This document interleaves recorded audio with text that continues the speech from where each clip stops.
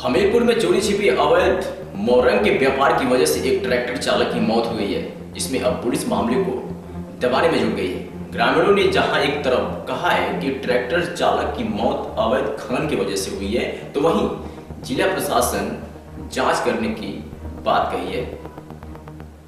मामला हमीरपुर जनपद की दीवार थाना क्षेत्र के पाथुर खुर्द गाँव के समीप वर्मा नदी पर मोरंग का अवैध कारोबार पुलिस के संरक्षण में खूब फल फूल रहा है। रात के ग्यारह बजते ही मोरंग कारोबारी सक्रिय हो जाते हैं और ट्रैक्टरों से अवैध कारोबार में लग जाते हैं। हाईकोर्ट की रोक के बावजूद अवैध मोरंग के मामले में प्रशासन की सख्ती की पोल जब खुली। जब अवैध मोरंग से भरे ट्रैक्टर और ट्राली पलट गए और एक मजदूर की मौके पर मौत हो गई।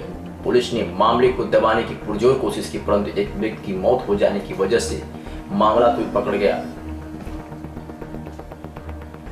मौके पर भारी पुलिस फोर्स के साथ उप जिलाधिकारी और क्षेत्रीय अधिकारी मौके पर पहुंचकर जाँच में जुट गए फ़िलहाल ट्रैक्टर चालक के दबे शव को निकालकर पोस्टमार्टम को भेजने की कोशिश की जा रही है। ये क्या हुआ? है ये घटना समथिंग कोई आइडिया नहीं लगा सकता। समथिंग रात में तीन या चार बजे करीब हुई है। और गाँव में सात साढ़े सात बजे लोगों को पता चला है और इसमें बताया गया कि काफ़ी पुलिस प्रशासन के लोग बाग आए हुए थे।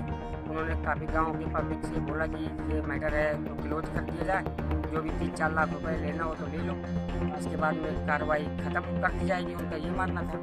लेकिन ये दमंग पार्टी वीरू प्रधान के छोटे भाई अमित सिंह का चल रहा है। ये लगभग तीन साल से चल रहा है अवैध खनन में और एक महीने से ये कंटिन्यू चल रहा है। तो इसमें आप, आप लोगों ने जानकारी क्या? कोई सीनियर अधिकारी को दी सीनियर अधिकारी सर जब भी कंप्लेंट करने के लिए वहाँ पे अपील दी जाती है एप्लीकेशन तो उसमें कोई एक्शन ही नहीं लिया जाता और घुमा फिरा के बातें करने लगते हैं। चलो कोई नहीं हम देखेंगे नेक्स्ट टाइम देखेंगे कभी टाइम नहीं है ऐसे बस टहला देते हैं।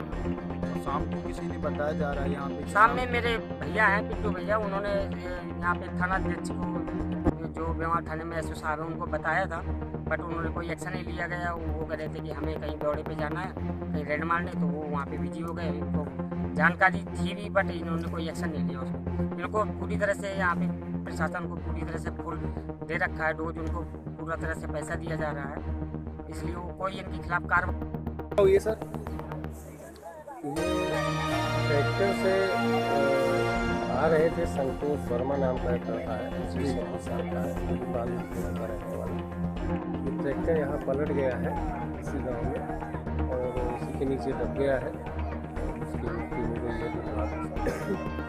तो क्या सर चोरी छुपे यहाँ पे अवैध खनन का कार्य चल रहा है? इस चोरी से अवैध खनन का कार्य तो नहीं चल रहा था हम इसकी जाँच करते हैं कि क्या मामला क्या है।